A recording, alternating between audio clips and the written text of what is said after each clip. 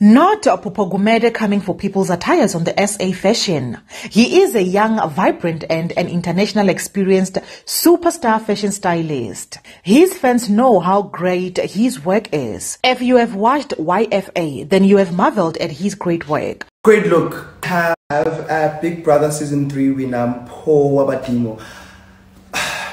This was, this is literally a t-shirt and pants so angazi ngifuna ngithini about the t-shirts and pants like it's literally a t-shirt and pants like I did love her hair though. I feel like if she would have put on effort into the rest of the outfits, like this is a t-shirt and pants, that's all I so his fans asked for the fashion police and he delivered.